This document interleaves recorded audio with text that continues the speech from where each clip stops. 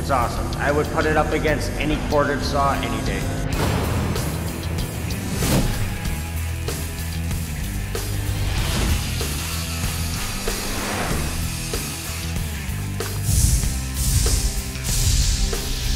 I didn't think it was gonna cut through plywood, ripping a couple of sheets at a time, but it performed awesome. Cut straight, and it didn't die.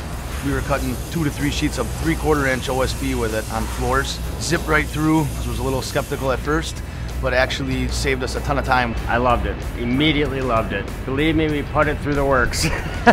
we cut anything from TJI's Microllam, a 6x6's green treated, just very, very tough woods. And it cuts through it like butter. It's definitely built for carpenters. It cuts through everything we need to cut through.